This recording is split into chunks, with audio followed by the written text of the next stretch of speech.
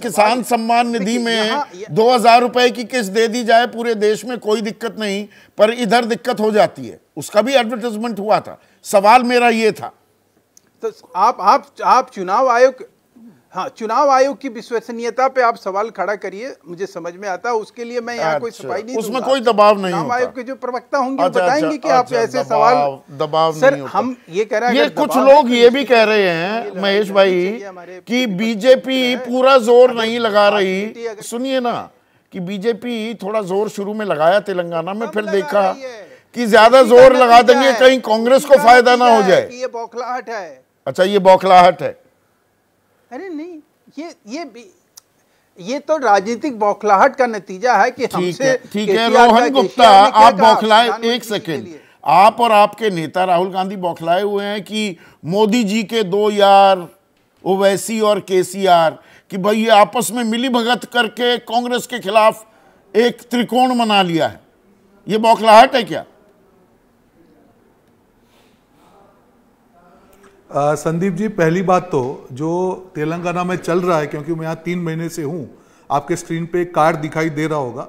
ये शादी हो चुकी है बीआरएस और बीजेपी की, और एआई में भी साथ में उनके साथ जुड़ चुके हैं।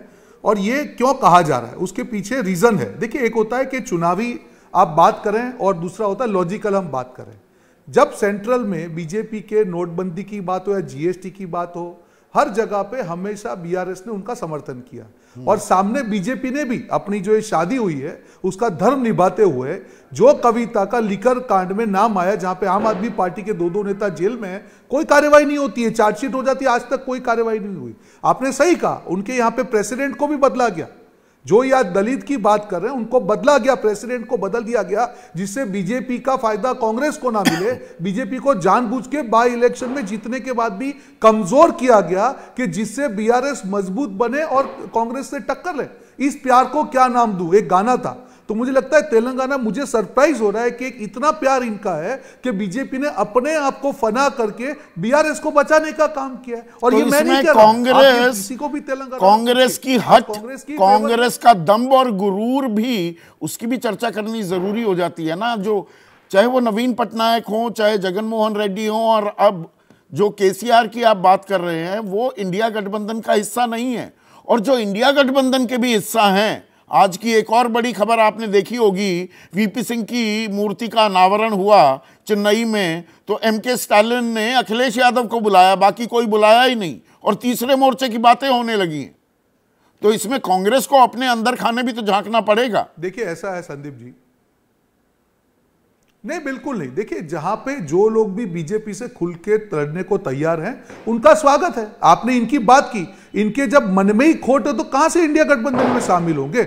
जो बीजेपी का समर्थन करते हो नेशनल लेवल पे बीजेपी जिनको बचाती हो ओवैसी आप थोड़ा करते हैं बीजेपी का समर्थन। अगर जिस कविता जी पर चार्जशीट कहाँ करते हैं करते ही हैं। आप बता रहा हूँ बता रहा हूँ कैसे करते हैं। जो ओवैसी जी पूरे देश में 50 से 60 सीटों पे चुनाव लड़ते हैं, वो उनके होम राज्य में सिर्फ़ सात पे लड़ते हैं। और एक इंपॉर्टेंट चीज़ संदीप जी, जहाँ पे उनका मुख्यालय है, गोशा महल, वहाँ पे बीजेपी खड़ी, बीजेपी का एमएलए है, वहाँ पे ओवैसी खड़े नहीं होते हैं। तो इससे बड़ा प्यार क्या है? आज ओवैसी जी पे कोई रेड नहीं होती है। ओवैसी जी दूसरे राज्यों में जहाँ जहाँ लड़ते हैं बिहार में लड़े बीजेपी को फ़ायदा करवाया गुजरात में लड़े वहाँ पे फ़ायदा कराया। तो ये भी इनके साथ ही है। तो ये जो मुद्दा ये जनता तो मतलब आप कह रहे हैं असदुद्दीन ओवैसी घोटाला कर रहे हैं घपला कर रहे हैं कि उन पे रेड नहीं होती। रेड तो वहाँ होगी जहाँ पर कुछ आशंका होगी घोटाले की गड़बड़ झाले की।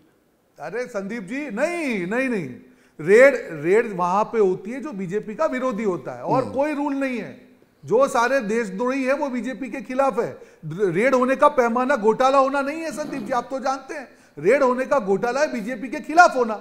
और जो बीजेपी के खिलाफ और देखिए राज्यों के जो चुनाव हुए आप राजस्थान देखिए छत्तीसगढ़ में आपने भी महादेव ऐप की डिबेट की थी। अब क्या लिख के आ गया? उसने कहा कि नहीं जी मैं तो ये तो मैं ये बोला ही नहीं था। हाँ, तो में मुद्दा यहाँ पे बुलवाया गया। जहाँ जहाँ पे भी एजेंसी जो यूज़ हुई है जो बीजेपी बिल्कुल वो आपके सामने है। चुनाव चला गया। जिस दिन चुनाव था, उस दिन इश्यू को उन्होंने उछाला। जैसे ही चुनाव चला गया, वो इशू पीछे चला गया। जैसे ही घड़ी का काटा दोपहर ढाई पे आए, बबीता जी का दिल सास बहू साजिश के लिए मचल जाए। और ये है इनकी बहू। पूरे दिन ऑफ़िस की टेंशन हो जाए गॉन जब ये करें अपना फेवरेट शो फ्री टाइम पे ऑन इनकी तरह, आप भी देखिए अपना फेवरेट शो अपने टाइम पर। और डाउनलोड कीजिए एबीपी लाइव ऐप अपने स्मार्ट टीवी पर।